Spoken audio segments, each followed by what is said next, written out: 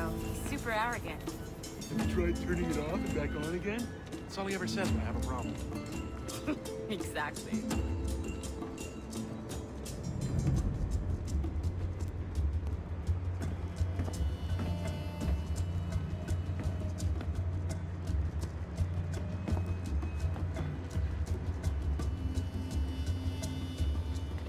How'd the playtests go? Incredible. Constant stream of 5 gigs a second. Of genetic memory data? That's amazing. And this is through existing broadband networks.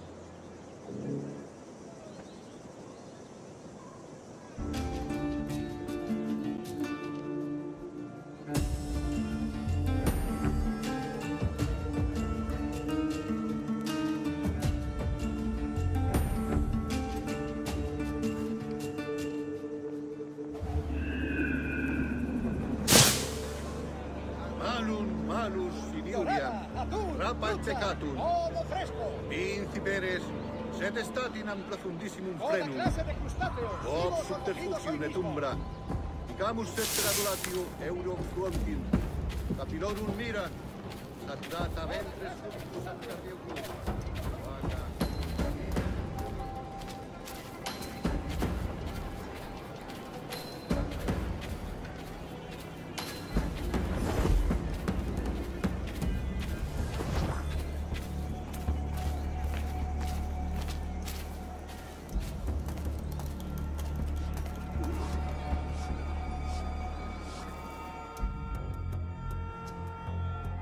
Buenos dias.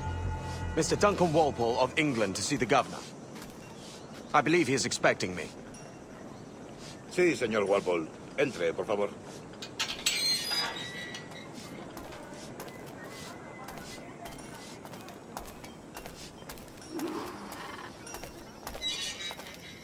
¿Ese es el hombre?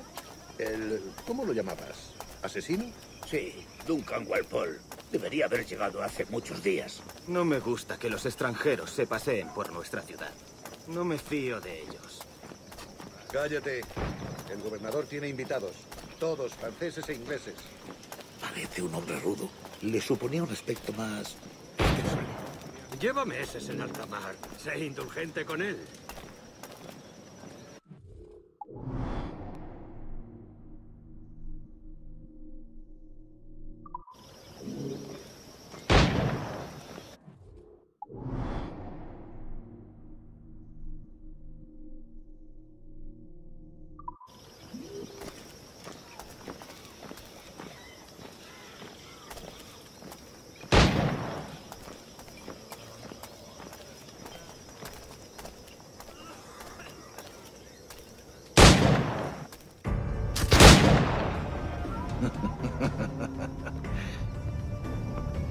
Good morning, sir.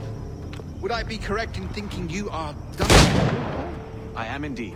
I thought as much. Woodes Rogers. A pleasure. The same. I must say, my wife has a terrible eye for description. I'm sorry. My wife. You met her some years ago at the Percy's Masquerade Ball. Ah, quite. She called you devilishly handsome. Obviously a lie to stoke my jealousy. Julianne, our guest of honor has arrived, Mr. Duncan Walpole. Ah. Julien du Casse. I hope your conversion to our order is an honest one. I have no love for assassins, but even less for liars. I have not come to disappoint. Up for a bit of sport, Duncan? The old man isn't ready just yet.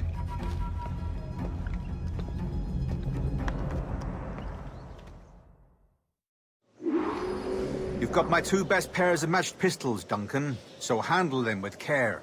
If I had eight, I'd treat each as my own son. Pull off a few shots if you like, get a feel for it.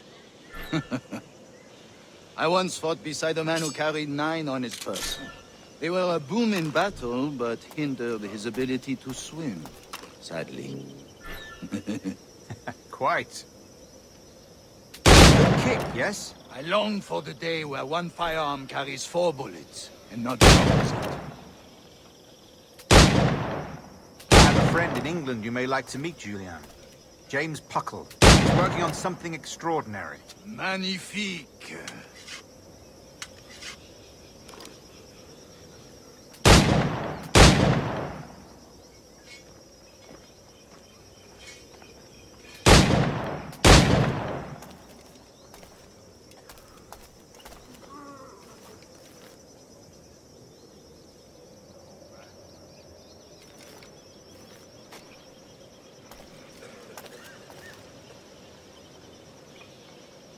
All right. Here's a simple challenge. Try to strike every target before this hourglass empties. Remember, hit every target within the allotted time.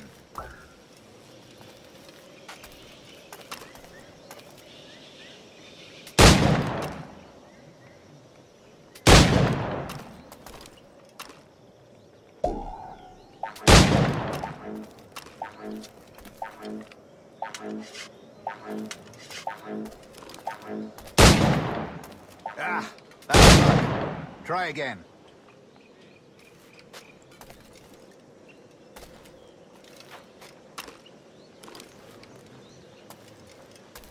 All right. Here's a simple challenge.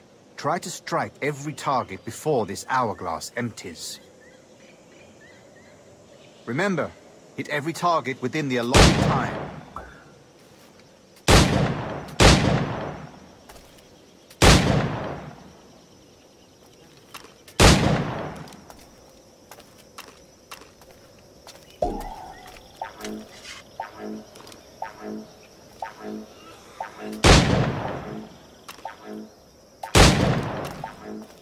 An off day, Duncan.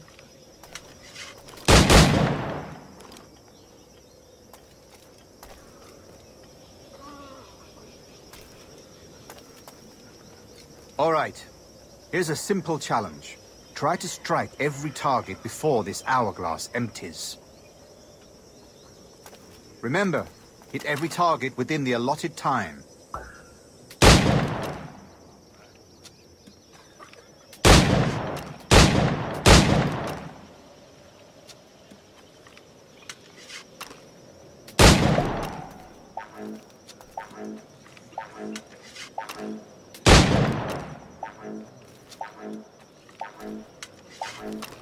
An off day, Duncan.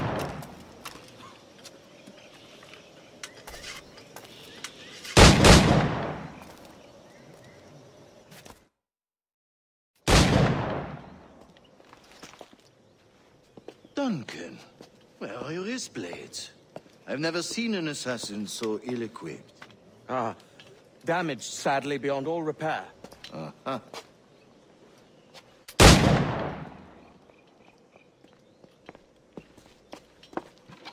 Have your choice. Where did you find all these? I did not find them. I took them. Is a souvenir.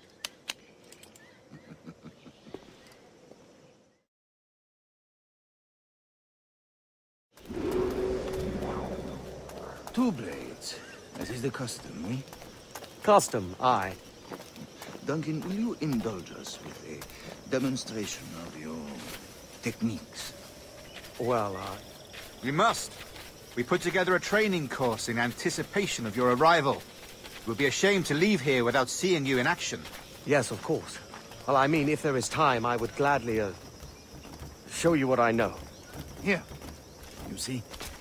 Situations well suited to your skills. Have a go. A blade in a crowd is always the simplest. Nothing grandiose, just quick and clean.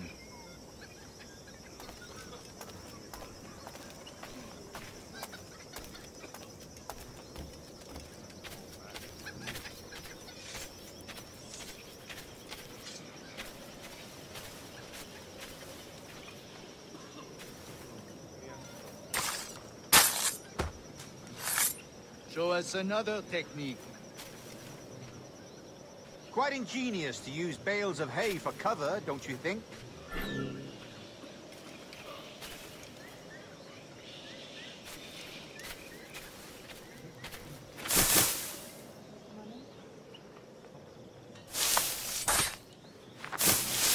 God, that's the spirit.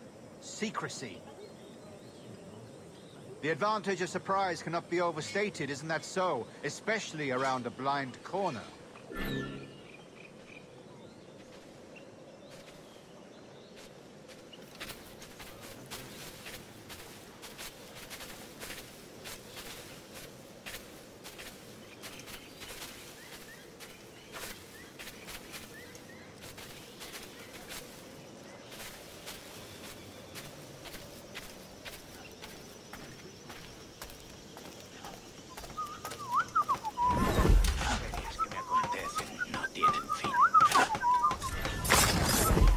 Blind me, that's a clever trick.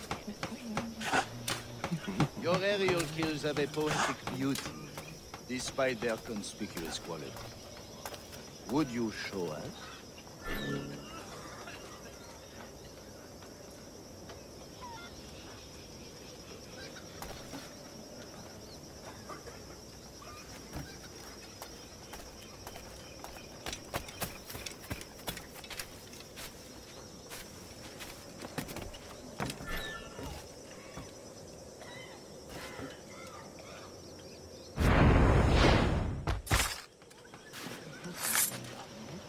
Magnifique.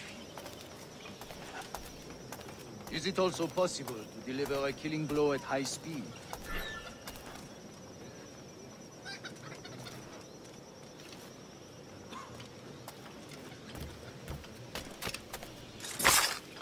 Mon Dieu, such a powerful strike! Fascinating.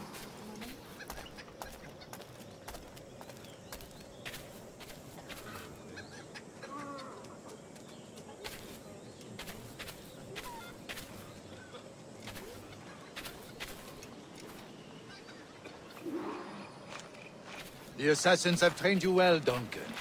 You chose a perfect time to leave them behind. At great risk, I imagine. Betraying the assassins is never good for one's health. Well, neither is drinking liquor, but I am drawn to its dangers all the same. And what is your business here, sir? Are you an associate of the governor's, or a pending acquaintance like myself? Guns, blades, cannons, grenados. Anything that may kill a man, I am happy to provide. A smuggler of sorts. And how is your wife these days, Captain Rogers? Is she, uh, here, in Havana? I trust she's well, but I wouldn't know. I've been in Madagascar some 14 months hunting pirates. It took some work to dislodge the criminals there, but we managed it. In future, I hope to use these same tactics throughout the West Indies. And how did you deal with that kind? Very simply. Most pirates are as ignorant as apes. I merely offered them a choice. Take a pardon and return to England penniless, but free men. Or be hanged by the neck until dead. Oh. I imagine Nassau would be your next target. Very astute, Duncan, indeed.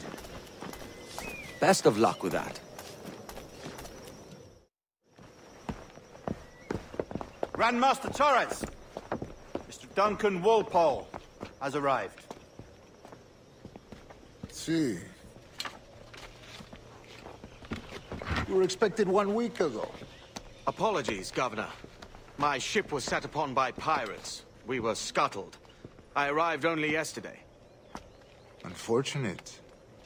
Forgive my caution, but were you able to salvage from these pirates the items you promised me? Uh, yes, sir. I was.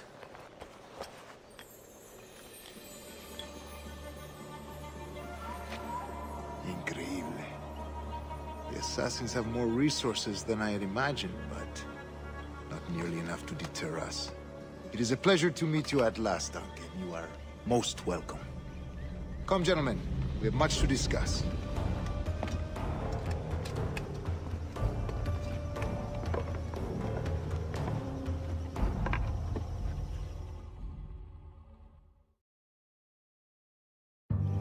Convened at last, and in such continental company. England, France, Spain, citizens of sad and corrupted empires. But you are Templars now, the secret and true legislators of the world. Please, hold out your hands. Mark and remember our purpose. To guide all wayward souls till they've reached a quiet road. To guide all wayward desire till impassioned hearts are cool. To guide all wayward minds to safe and sober thought.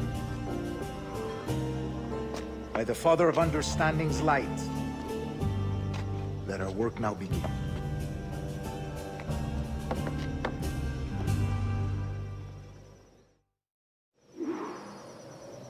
Decades ago, the Council entrusted me with the task of locating in these West Indies a forgotten place our precursors once called the Observatory.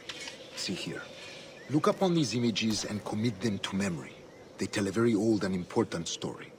For two decades now, I have endeavored to locate this observatory, a place rumored to contain a tool of incredible utility and power. It houses a kind of armillary sphere, if you like. A device that would grant us the power to locate and monitor every man and woman on Earth, whatever their location. Only imagine what it would mean to have such a power. With this device, there would be no secrets among men, no lies, no trickery. Only justice, pure justice. This is the Observatory's promise, and we must take it for our own. Do we know its whereabouts? We will soon. For in our custody is the one man who does, a man named Roberts, once called a sage. It has been 45 years since anyone has seen a true sage. Can you be sure this one is authentic? We are confident he is. The assassins will come for him. Indeed they will. But thanks to Duncan and the information he has delivered, the assassins won't be a problem for much longer. All will be made clear tomorrow, gentlemen, when you meet the sage for yourselves. Until then, let us drink. Let us find the observatory together. For with its power, kings will fall, clergy will cower, and the hearts and minds of the world will be ours.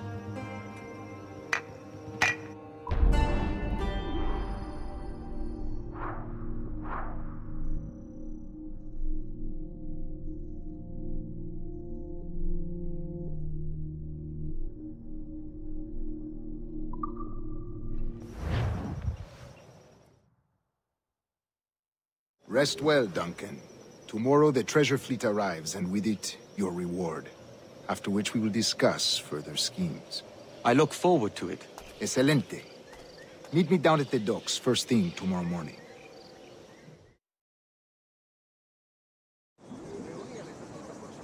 Governor Torres requests your presence at the docks near the Castillo. First thing tomorrow morning,